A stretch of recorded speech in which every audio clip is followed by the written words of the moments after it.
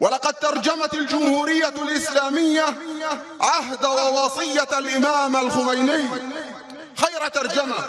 طيلة السنوات الماضية وما اهتمام فضيلة المرشد الأعلى للثورة حفظه الله بالقدس والأقصى وببناء ودعم قوى المقاومة على طريق تحقيق هدف التحرير إلا خير شاهد على ذلك.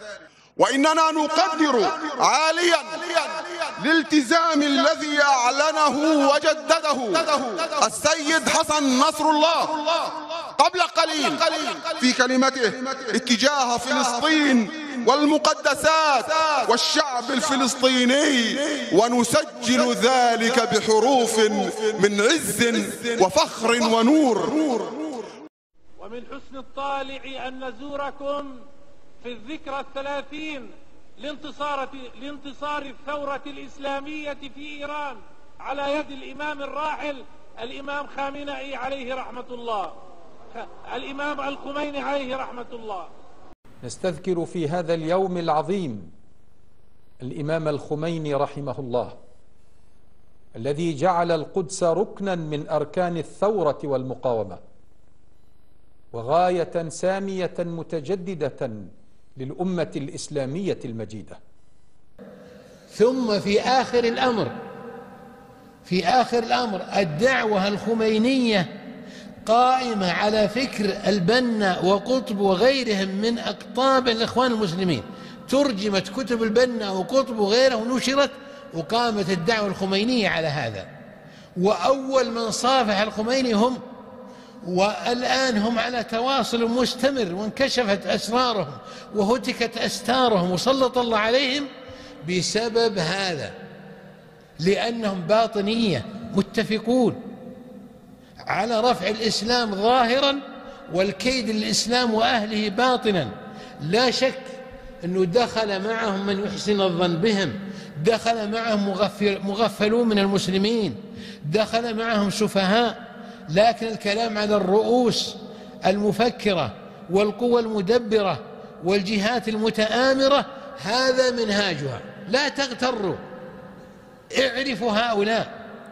فالخوارج المارقة المعاصرون والشيعة الغالية الفرس المجوسيون وجهان لعملة واحدة كما يقال ومخططهم واحد والذين دخلوا معهم من العرب ما بين حاقد وقاطع طريق وجاهل وصاحب شهوة ومغفل دخلوا معهم في هذه يؤتون الفتنة هذه وكادوا للإسلام وأضروا بالمسلمين وانتهكوا العبادات وانتهكوا شعائر الملة وانتهكوا حرمات المسلمين لأنهم جهلة لأنهم أغبياء لأنهم أصحاب هوى. لأنهم مريض قلوب لأنهم منافقون نفاقا اعتقاديا. كل ما تسمعه من الجهاد المعاصر هذا ترى هذا هو.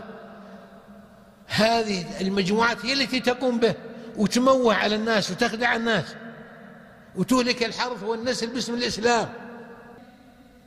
ينبغي التنبه كفى كفى كفى. لا بد من هذا. الحرب موجهة للملة الحنيفية الإبراهيمية المحمدية على صاحبها أفضل الصلاة والسلام وموجهة للإسلام الحق الدين الحق بجميع أحكامه. أركان الإيمان وأركان الإسلام وأركان ركني الإحسان.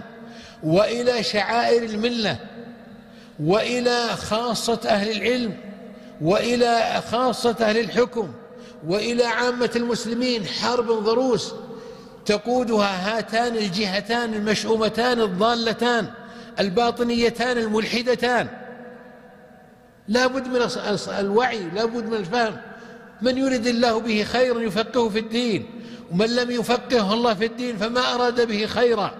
هذه رسالتي لجميع المسلمين العربي والأعجمي.